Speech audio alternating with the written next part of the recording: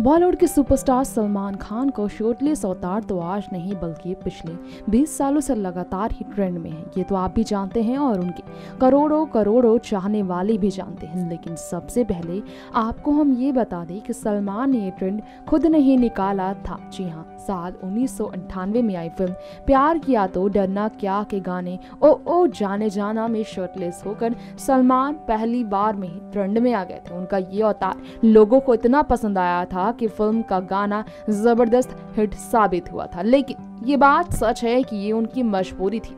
मर्ज़ी नहीं थी, बिल्कुल उन्होंने कहे अनुसार ही काम किया था। जो कपड़े उतारने पर मजबूर हुए थे, सेट पर शूटिंग के दौरान उसकी वजह ये थी कि उनकी फिटनेस के आगे शर्ट उन्हें टाइट होने लगे थे। इतना टाइट कि शर्ट के बटन तक नहीं लग रहे थे, जिसकी वजह से डायरेक्टर ने फैसला लिया था कि सलमान को बिन कपड़ों के ही ये काम, यानी कि शूटिंग पूरी कर लेनी चाहिए। Next 9 years of report.